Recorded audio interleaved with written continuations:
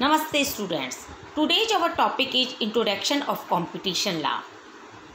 India's pursuit of globalization has resulted in removal of controls and liberalization of the economy. A key step in India march towards facing competition both from within the country and from international players is the inception of a competition law regime. As a general rule, competition laws are premised upon the economic principle that competition is desirable in a free market. Competition law seeks to prevent business from engage in practices that are harmful to competition and consumer welfare. This ideology is the same some ways distinct from the ideology promulgated by the erstwhile legislation dealing with restrictive trade practices in India, the Monopolies and Restrictive Trade Practices MRTP Act. The MRTP Act has primarily focused in curbing monopolies in the market, however, with the advent of competition laws in India.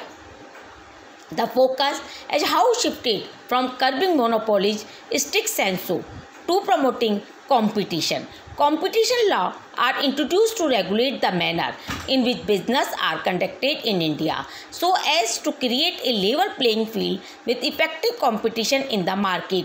The underlying intent for this statute is for business to compete on merit and not with the aid of anti-competitive agreements and or conduct Having said that, however, it may be noted that even though competition laws can be used by business as a solver to ensure level playing field in the market, the intent of this relatively new statute in the Indian legal system is not to make it easier for the weaker business to survive in the market or require the more profitable business to give up the uh, market share.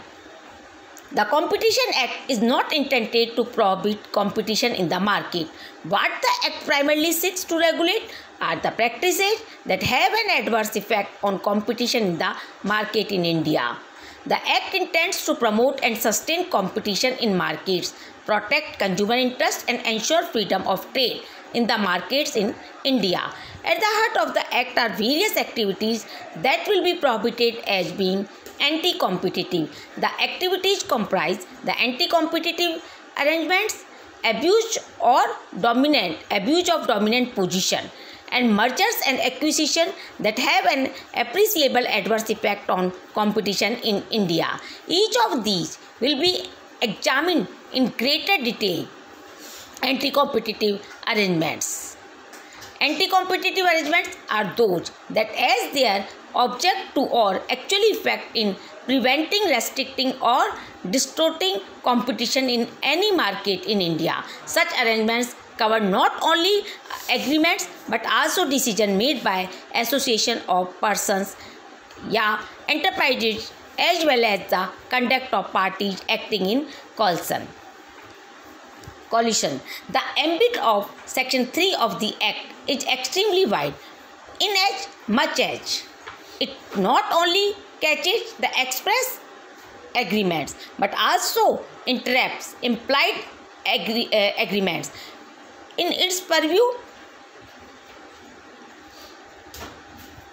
although the Act does prescribe certain arrangements which will likely to be caught by the restriction on anti-competitive arrangements prescribed Thereunder, it should be noted that these are only examples of anti-competitive arrangements and arrangements that are not specifically prescribed under the Act may still be caught within the general prohibition. The examples of anti-competitive arrangement prescribed under the Act are set Number one, directly or indirectly determining purchase or sale prices, limited or controlling production market, technical development or investment, arrangement for the sharing market or sources of production or provision of services, directly or indirectly engaging in bid, rigging or quasi binding, enforcing a condition on the purchaser of certain goods to also purchase some other goods entering into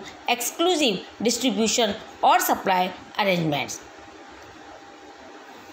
Some of the aforementioned arrangements uh, are outright prohibited in a such arrangement involving any of these activities shall be presumed to have an appreciable adverse effect on competition in India, while others are weighted against their impact on competition. Thank you. Thank you so much.